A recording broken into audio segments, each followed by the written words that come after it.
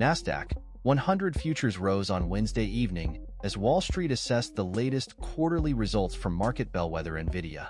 NASDAQ 100 futures jumped 0.4%, while S&P 500 futures added 0.2%. Futures tied to the Dow Jones Industrial Average dipped 53 points, or 0.1%. Chipmaker and artificial intelligence darling NVIDIA added 6% in extended trading, sending shares above $1,000 after posting stronger than expected fiscal first quarter results and announcing a 10 4 1 stock split. NVIDIA's fiscal second quarter revenue guidance of about $28 billion also beat a StreetAccount forecast of $36.2 billion, a sign the company doesn't see its momentum slowing. Snowflake added 4% on a revenue beat. NVIDIA's results have been a focal point for Wall Street, as traders hoped for signs that the excitement around AI is not waning. With its $2.3 trillion market cap, NVIDIA also has considerable sway over the broad S&P 500.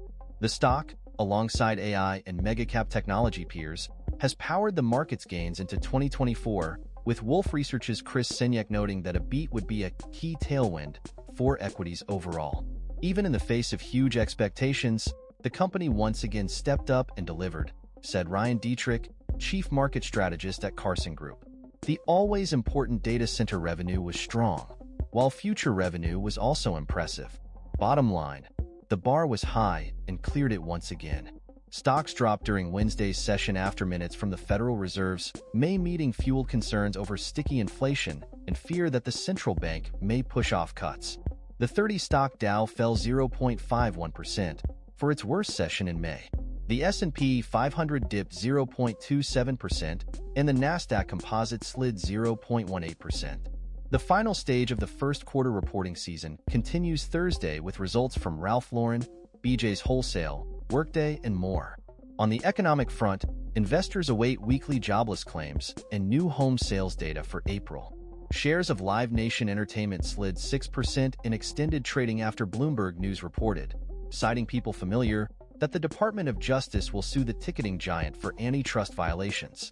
Remedies that could be on the table include a breakup of Live Nation, sources familiar told Bloomberg. The concert promoter merged with Ticketmaster back in 2010. Earlier this month, Live Nation reported a record first quarter, with revenue climbing to $3.8 billion, up 21% from the year-ago period. NVIDIA shares popped more than 6% to surpass the $1,000 mark for the first time ever during overnight trading, following another robust quarter driven by artificial intelligence strength. The chipmaker posted adjusted earnings of $6.12 per share, surpassing an LSEG estimate of $5.59.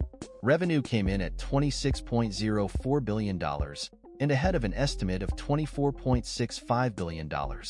The company also offered strong sales guidance, saying that it anticipates sales of $28 billion for the current quarter versus an LSEG estimate of $26.61 billion. NVIDIA also announced a 10 4 1 stock split and said that revenue surged 262% year over year during the period for a third consecutive quarter of growth exceeding 200%.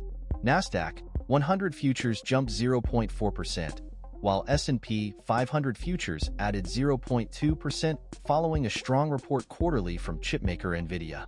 Futures tied to the Dow Jones Industrial Average dipped 50 points, or 0.1%.